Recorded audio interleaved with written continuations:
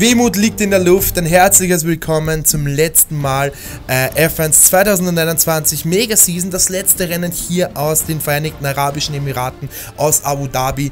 Ähm, es wird spannend, es wird spaßig und vor allem auch bei uns hier geht es zur Sache. Wir müssen gegen Verstappen ran. Ich meine, ich habe die Rolle von Paris übernommen. Das bedeutet, äh, wir werden keine Chance mehr haben, Weltmeister zu werden. Aber Hamilton kann sich heute hier noch bei uns den Titel holen.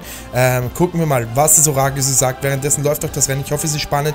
5,5 Kilometer zwei DRS-Zonen und ja, eigentlich eine sehr flache Strecke. Die haben eine Titelstrecke ähm, hier im Herzen von Abu oder hier auf Yas Island, sagen wir mal. Abonniert gerne den Channel kostenlos, macht doch gerne ein Däumchen nach oben weg und schaut auch unbedingt gerne auf IT-Gaming auf Instagram vorbei oder auch gerne auf ähm, ja, auf IT-JT auf TikTok vorbei. Ähm, ich bin sehr gespannt. Auf äh, its-tobi könnt ihr echt viele, viele Formel 1 Sachen sehen. Also ist auch unten verlinkt, äh, wie immer alle unten in der Bio. Äh, wir können in der WM nicht mehr mitreden. Auch ich denke mal, äh, das ist nur noch eine Formsache, weil hier ist kein Punktegleichstand. Ähm, das ist noch der WM-Stand von äh, vom vom vorletzten Rennen. Das bedeutet, wir sind ja eigentlich in die Rolle geschlüpft äh, vor Saudi-Arabien. Das bedeutet, ähm, ja, ich konnte da nicht mehr viel äh, ändern. Das Starting, Starting Grid ist auf jeden Fall sehr, sehr interessant und explosiv. Wir starten vom Pole neben Max Verstappen, mischen uns hier inoffiziell ein bisschen in die WM-Entscheidung ein. Sonst wäre es eigentlich sogar mit Hamilton und Verstappen hintereinander in der ersten Startreihe ziemlich interessant geworden. Dann Leclerc und Sainz, eine Ferrari-Reihe, Vettel und Alonso. Dann ein Stroll auf 8 und Ocon, Bottas nur auf 10, das ist sehr enttäuschend. Ähm, hinter Ocon, dann hier Zunoda und Giovinazzi, ähm, Ricardo und wow, Russell, das wäre natürlich, ja, ähm, ziemlich eine coole Ausstellung. Äh, und hier Kimi, der, der auch halt sein letztes Rennen bestreiten wird für die in der Formel 1, ist echt sehr traurig. Nori nur auf 16 und Latifi, Mazepin und Mick, äh, auch Antonio Giovinazzi wird in die Formel E wechseln. Es gibt ein paar Abschiede, wie eigentlich jede Season äh, ist es immer traurig, weil die Werten fehlen, aber es kommt neue Luft rein mit, ähm, äh, mit Schau und auch, ähm, ja, unser Start war okay. Wir müssen uns hier gleich mal gegen Max Verstappen verteidigen, äh, weil der ein bisschen besser weggekommen ist. Wir haben aber die Außenseite. Ähm, so könnte es äh, hart oder ja, hart verlaufen sein. Hamilton da äh, innen chancenlos gegen uns. Ähm, Verstappen der Einzige, der mit Gelb gestartet ist. Das wird eine ziemlich interessante Sache. Der macht hier ordentlich Druck. Ich möchte natürlich vorne bleiben. Aber Halleluja, ich darf natürlich auch nicht zu hart zumachen, sonst crasht da jemand. Uh, Hamilton auf den vierten Platz abgeschlagen worden hier. Leclerc kommt rein und überholt da einfach. Ähm, ja, da, da, da geht es ordentlich zur Sache, aber ich denke mal, das ist eh nur noch Formsache bei uns hier in der WM. Ich meine, da, da ist eigentlich alles entschieden. Verstappen muss, glaube ich, theoretisch nur zwei, drei Punkte holen, um Weltmeister zu werden. Also da ist es nicht so spannend wie in der wirklichen Formel 1. So, hier einmal drauf. Oh mein Gott, und wir berühren den Körper, den ich so oft... Ähm, Mann, das ist scheiße, Mann den ich so oft äh, irgendwie, äh, ich habe so oft gesagt, da darf ich nicht drauf oder so. Und hier in der, okay, genau, perfekt. 18. Platz, genau hier, dank Gelb durfte mich Norrie nicht mehr überholen. Trotzdem, das ist scheiße gelaufen, das war unnötig und sehr, sehr dumm. Nur in der, in Eifer des Gefechts, ja, hier die Reifen sind extrem heiß im Eifer des, des Gefechts. Ähm, ja, konnte ich nicht hier, habe ich war ich nicht bei klaren Verstand, musste oder bin über den Körper gegangen, das war sehr dumm. Ähm, hat hier wertvolle Plätze gekostet und wahrscheinlich sogar den Sieg. Trotzdem müssen wir jetzt hier das Beste draus machen. Es ist äh, unser letztes Saisonrennen, da hat es jemand noch erwischt. Es ist ein, äh, dahinter gab es irgendwie eine Kollision, äh, es muss Mix sein, weil der Mazepin hinter mir noch fährt. Also es ist auf jeden Fall Mick Norrie auf den 18. Platz auch nichts gut gemacht. Äh, lag wahrscheinlich auch an mir aus der letzten Gruppe ein bisschen mit einem Abkürzungen hier rausgekommen. Aber es gibt eh erst nach drei, ähm, ja, eine Strafe. Ähm, warum sage ich das? Das könnte heute eventuell noch zu einer kommen. Aber äh, ja, das, das schauen wir später. Ja, ein bisschen zu weit rausgekommen. Die Reifen sind noch nicht ganz, ganz so, wie ich mir das vorstelle. Äh, ich muss ja echt fighten um den Platz. Und Ricardo, ja, das ist halt echt hier nicht die schönste Strecke, um zu überholen. Es gibt vielleicht nur ein, zwei Stellen. Vielleicht mit dem neuen Layout gibt es ein paar mehr. Ich bin sehr gespannt. Ähm, uns erwartet ja aktuell ein mega WM-Fight, während ich dieses Video hochgeladen habe. Falls ihr es danach seht, ja, ich hoffe natürlich, ähm, es ist fair zugegangen. Ich hoffe auch natürlich, ähm, wir feiern einen Weltmeister. Es wird natürlich hier es werden nicht alle hundertprozentig glücklich sein, weil manche sagen, Verstappen hat mehr verdient, manche sagen, Hamilton ist eigentlich die Season bis auf Großbritannien fairer gefahren, ähm, aber man kann es nicht jedem recht machen. Ich bin sehr gespannt auf jeden Fall. Ähm, ja, ähm, ja, wer den Titel holt, äh, es, es verdient haben es beide. Sie haben beide 8 und äh, 9 Wins geholt. Also ähm, ja, da, deswegen bin ich echt gespannt. Die, dass dieses Duell wird zwar äh, nicht die Geschichtsbücher füllen, also natürlich mein Hamilton Weltmeister wird, aber ähm, ja, es war auf jeden Fall eine Season, die es in sich hatte. Mit ähm, ja, Provokation, mit vor allem aggressiven und teilweise regelwidrigen Fahren, äh, was echt teilweise echt zu weit ging. Also ich rede auch von Saudi-Arabien. Das war ein Grand Prix, der vielleicht spannend war für manche Leute, aber der so aus Sicht der Formel 1, ehrlich gesagt, äh, etwas zum Vergessen war. Also man sollte da wirklich nicht sich ein Beispiel an diesem Grand Prix nehmen, auch wenn da vielleicht die Einstellquoten höher waren. Ich meine, da gab es Unfälle, die sch viel schlimmer ausgehen hätten können.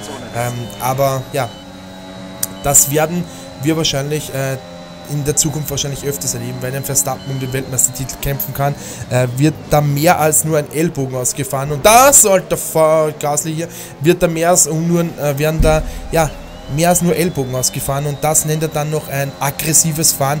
Ich finde, das ist teilweise drüber und, und das ist sogar für das Wort Aggression zu viel. Äh, natürlich, ich, ich finde das auch nicht okay, was in Silverstone passiert ist. Ähm, man muss auch sagen, Silverstone war genauso viel zu drüber. Ähm, man, man hätte da die Kollision hundertprozentig vermeiden können. Die 10 Sekunden waren vielleicht sogar geschenkt äh, angesichts des Wins danach mit so einem Vorsprung und vor allem dann natürlich auch noch des Jubels. Äh, andererseits, Monza hätte viel schlimmer ausgehen können. Danke nochmal an den Halo auf jeden Fall, weil sonst wäre das Genick von Hamilton abgewesen. Ähm, auch äh, Saudi-Arabien hätte schlimmer ausgehen können mit diesen Abbremsen und mit diesen DS-Spielchen, weil keiner den anderen das DS gönnen wollte. Also man muss schon sagen, es ist beides, beide Seiten sehr aggressiv und ähm, auch, äh, ja, auch die eine oder andere Abdrängung, ich will jetzt gar nicht äh, hundertprozentig äh, auf alles eingehen. Imola, ähm, für mich Highlight des Jahres natürlich auch ein Ungarn Grand Prix, wo es keinen der beiden oben gab.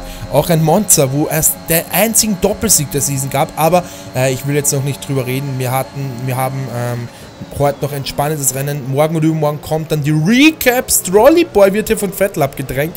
Und wir kommen jetzt zurück zu unseren Rennen, nachdem ich hier schon die Hälfte über die aktuelle Formel 1 Season gequatscht habe. Wir gehen hier rein. Ja, das war noch gerade in den Track Limits drin. Äh, und übernehmen da gerade mal den, oh, da ist keiner noch in der Box, aber trotzdem übernehmen wir den achten Platz. Es wird, wie gesagt, Schadensbegrenzung werden. Wir werden vielleicht so Top 3 waren wir ins Top 5 eigentlich, aber dann habe ich gesehen, ja, mit einem Undercut kann man hier was reißen und dann, ja, so muss eigentlich hier mein Ziel die Top 3 sein. Und guck mal hier diesen Speed-Vorteil gegen den, äh, gegen den Aston Martin an. Wir, wir sind hier eigentlich, ja, 10 Autos weg oder noch mehr und kommen hier echt angeschossen und Vettel, keine Ahnung, was er hier, vorhat. Ja, der, der, fährt da innen über den Körper drüber, das ist ganz, das Auto wird ganz unruhig und wir können da easy going, weil er sich irgendwie selbst da eliminiert, äh, können wir ihn da überholen. Es geht in die Box rein, ähm, Alonso vor mir ist auch in der Box und auch Charlie Leclerc ist in der Box, Lewis Hamilton ist in der Box, ähm, Hamilton mit den gelben Reifen jetzt schon in der Box, das ist echt früh. Also Verstappen fährt weiter, auch Bottas fährt weiter und auch ähm, Norrie äh, fährt weiter. Gucken wir uns hier mal an. Ja, wir müssen lang kurz warten wegen dem zweiten McLaren. Äh, also nein, wegen dem McLaren. Da war auch, ähm, ich glaube, Stroll war auch in der Box. Also es war äh, ordentlich es hier zur Sache, hat ein bisschen Zeit gekostet, jetzt heißt es gleich pushen. Ich möchte hier auf jeden Fall wenigstens als Fünfter rauskommen. Vor, ähm, der, da hat ja auch Bottas mit jemandem gekämpft, mit einer Ferrari. Und wenn wir vor den beiden rauskommen, wäre das schon okay. Ja, das Schneiden, fürs einmal Schneiden gibt es nur eine Verwarnung, das wissen wir. Ähm, deswegen gehe ich hier raus. So, lala. Mick, den holen wir uns jetzt mal hier im Vorbeigehen. Ding! Blinker raus und ja, lila im zweiten Sektor, aber das bringt nichts, weil wir ja die plus 17 Sekunden hatten. So, hier rauf beim Beschleunigen. Ja, das ist sehr unruhig, das Auto. Die gelben Reifen sollten durchhalten. Mein Teamkollege jetzt schon in der Box. Ja, ich müsste mindestens ähm, ja, unter diesen Tunnel sein, um das hier rauszuschaffen. Hamilton schon wieder vorne, ähm, vor, hinter Bottas. Nein, Bottas ist hier vor mir. Das heißt, Hamilton führt den Grand Prix vor Verstappen an und dahinter ein Ferrari. Aber ja, was soll ich sagen? Wir kommen hier rein. Wir kommen hier rein. Ähm, Bottas, ja, sechster, Pla äh, siebter Platz trotzdem geblieben. Wir sind ordentlich dran gekommen. Hier mindestens vier Sekunden haben wir durch den Undercut oder durch dieses frühe Stoppen geholt. Ich hoffe, die Reifen fehlen uns am Ende nicht. Bottas wird schwierig, also dem werden die Reifen am Ende auf jeden Fall fehlen.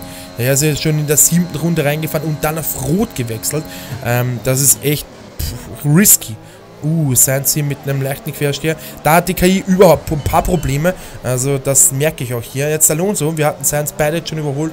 Und jetzt sind wir hier hinter Alonso der ja natürlich ein bisschen zu Bottas einbremst. Das ist gut für uns, wir kommen hier dran, aber nicht natürlich viel, weil wir beide DRS haben, aber wir kommen besser dran.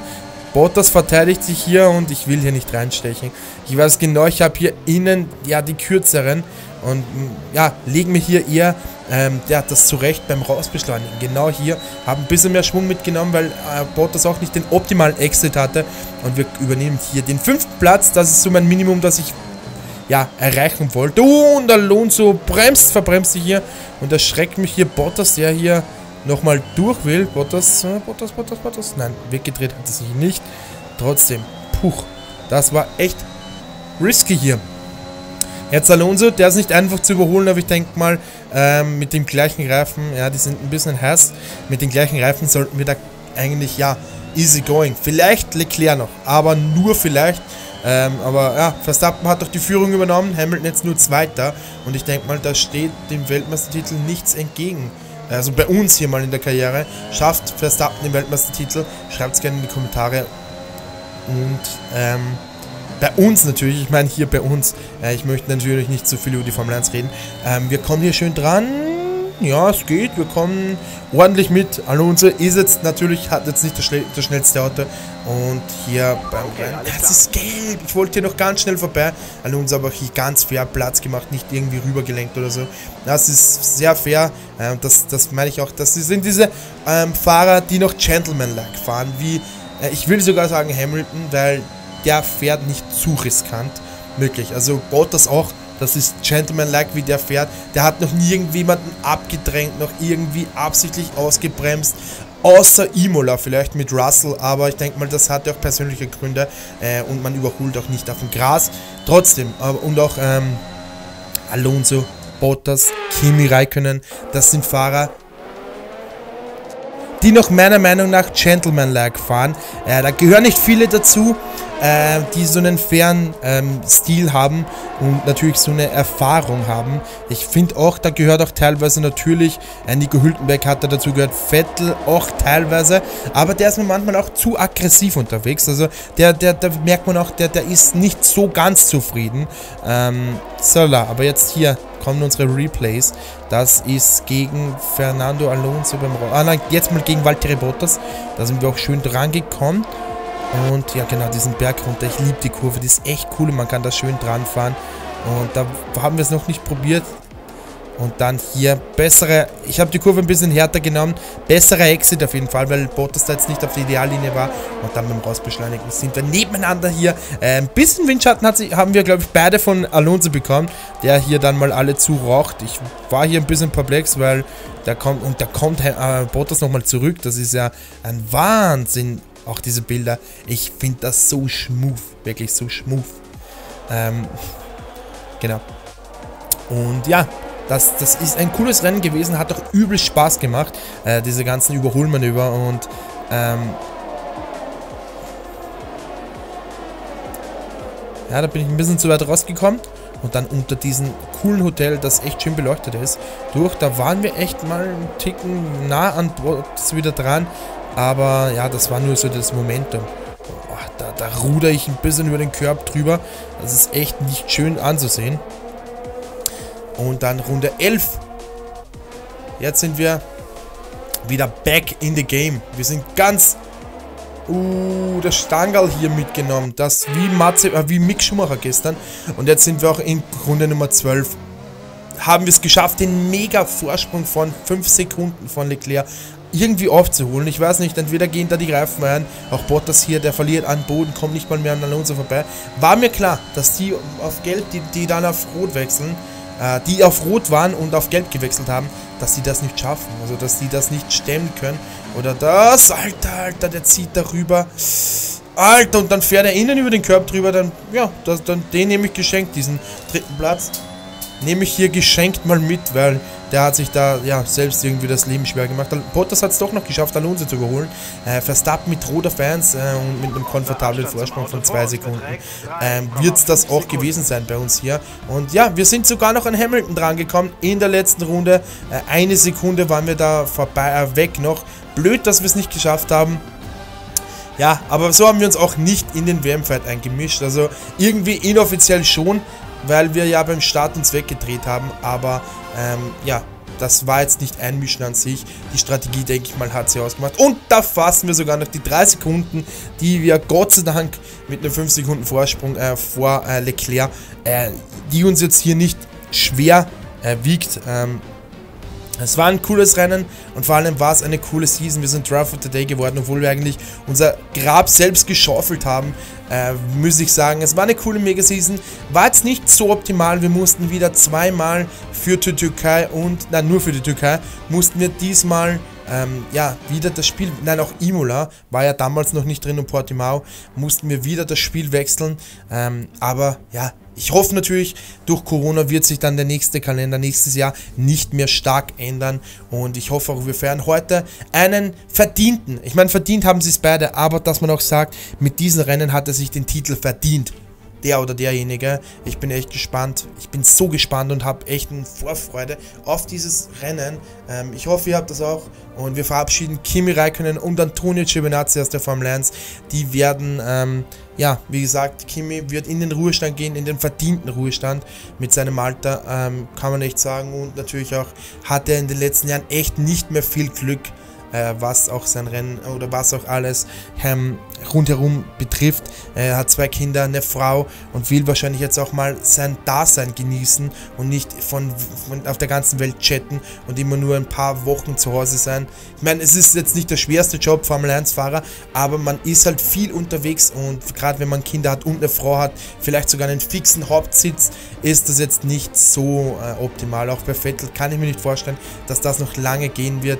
Ähm, ja, dann gibt es auch so Fahrer wie Hamilton oder Alonso, die sich noch nicht festgebunden haben. Da kann man auch sagen, ja passt, dann bekomme ich halt später noch Kinder oder so. Aber wenn man dann Kinder hat, ist es, denke ich mal, auch schöner, wenn man das Ganze auch genießen kann. Aber dazu, ähm, ja, das war's dann. Wir werden auf jeden Fall Ende der Woche oder so äh, nochmal einen kleinen Rückblick machen auf die Highlights, meine Highlights der Season, äh, vielleicht auch mit ein paar Bildern und vielen, vielen Dank für den Support in den letzten Monaten oder besser gesagt das ganze Jahr über von März an bis jetzt. Abonniert gerne den Channel kostenlos, schaut auch gerne auf Instagram und TikTok vorbei. Links sind über alle unten in der Bio und wir sehen uns hoffentlich auf TikTok später nochmal. Da werden wir ausführlich über das letzte Rennen reden, äh, IT-OT oder besser gesagt It's-Tobi. Da wird viel über die Formel 1 geredet. Vielen Dank, bis zum nächsten Mal. Links sind immer alle in der Bio. Wir sind hier Dritter geworden und auch in der WM sind wir Dritter geworden hinter Max Verstappen und Lewis Hamilton. Danke für den Support, vielen, vielen Dank. Vorhin kam auch Hotlab, könnt euch nochmal die Strecke ansehen. Bis zum nächsten Mal, bis nächstes Jahr für die Mega Season oder bis morgen hier auf dem Kanal und ciao.